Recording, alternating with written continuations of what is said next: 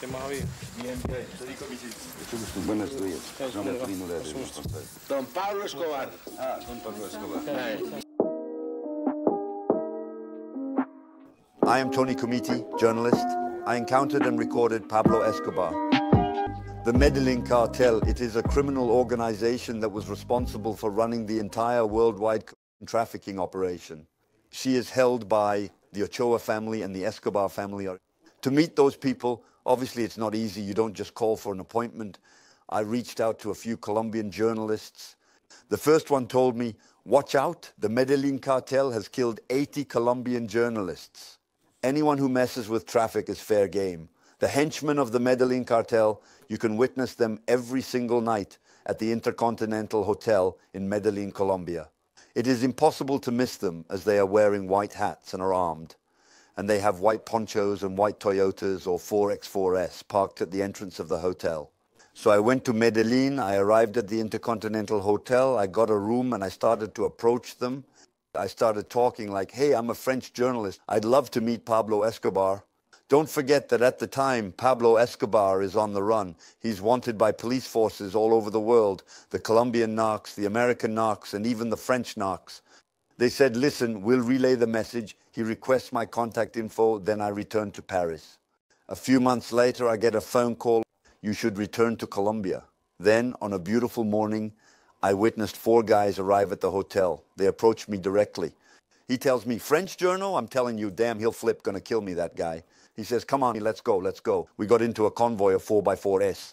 Then we proceeded to a hacienda, and there, to our astonishment, it was not Pablo Escobar, but rather Fabio Ochoa who greeted us. We were taken aback by this unexpected encounter and eagerly awaited to hear what he had to say.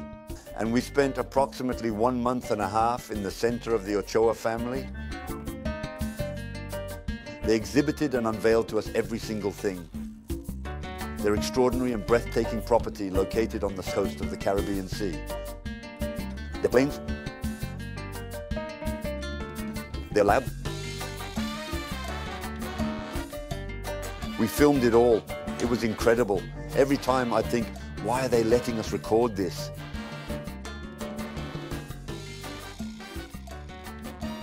John Bertolino and Fabio Ochoa got along well. And one beautiful morning, Don Fabio Ochoa desires to demonstrate to me the location where his father is laid to rest. We're going to a cemetery, and there, it's unbelievable. He talks about his father and he starts crying. This man, responsible for deaths, talks about his father with a tear on his face. It's not a fake tear, but genuine emotion as he reflects on the lives lost. I will always remember that. We returned to the cars. I was relaxing in Fabio's car while the remaining members of the crew were in a car with armed bodyguards positioned all around. The motorcade halts and Don Fabio approaches my window. On the upcoming day, we have an interview scheduled with Don Pablo. But which Pablo? Pablo Escobar. And on the subsequent day, we departed at approximately 7 p.m. Scarves were placed on our heads. Finally, we reached this small road, just like that, which happened to be the entrance leading to the Nacienda, I open the door and I slyly activate my camera because Fabio, you know, instructs me, definitely do not film. Say what you want, but I am recording. I had the camera activated beneath my arm, and there were approximately 50 young killers giving us a guard of honor as they formed a protective line. And at the end of the hallway, there is a pool for swimming.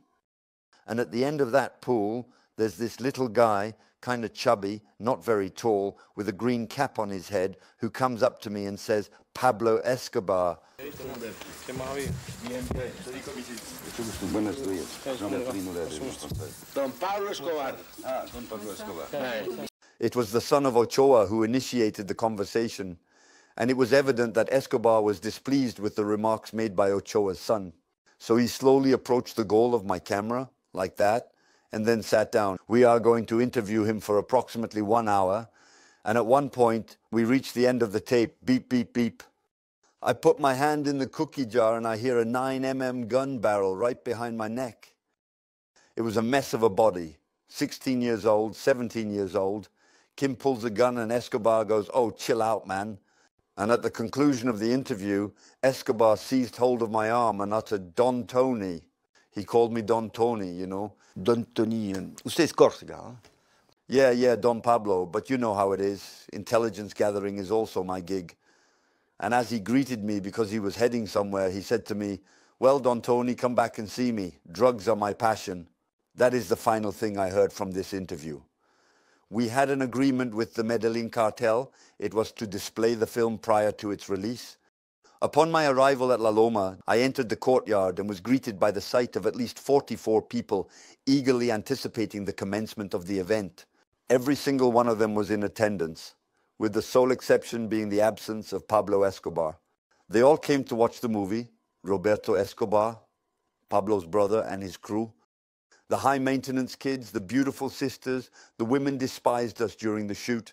They sensed the danger of this movie for them. They didn't understand why these people, the most wanted in the world, would agree to be filmed. And so the viewing begins. Don Fabio Centillo sitting next to and behind the whole cartel. And the film has just started. And there, it's unbelievable. I'm looking at Don Fabio in astonishment. He had drifted off to sleep during the screening. The movie is now over. The end of the movie is particularly awful because they conduct an interview with Fabio Ochoa and Bertolino aggressively questions him. But actually, Fabio, the real boss of Medellin, it's not Pablo Escobar, it's you. And the answer in the interview is yes, yes, yes. And he dozes off. And Roberto Escobar stands up and he says to Fabio, he is correct, the Frenchman, the true leader of Medellin, it is you. All right, see ya. He's out of here. The girl Ochoa gets up furious. She gives me a dirty look and she says to her father, Dad, if this movie comes out, we'll all be extradited to the United States. He listens to his daughter. He grabs me by the arm, really strong like that. He drags me into the corridor. He says to me, you will tell Bertolino, wherever he is in the world, his ancestors, his descendants before him, you tell him, and you too, Don Fabio, me, I am a technician. And he tells me, you're a very skilled technician. I said, no problemo, Don Fabio, no problemo. I get in the taxi. I'm like, damn, they're going to kill me, take me hostage. I don't know what they're going to do. And there's my taxi waiting in the Hacienda courtyard. The guy was shaking because he recognized all those people. He was shaking like that.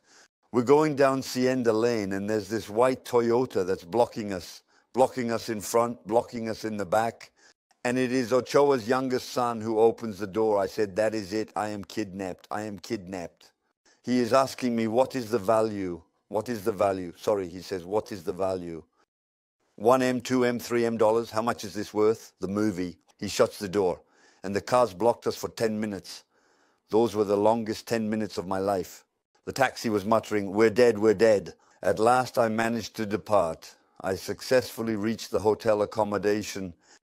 First plane, Paris.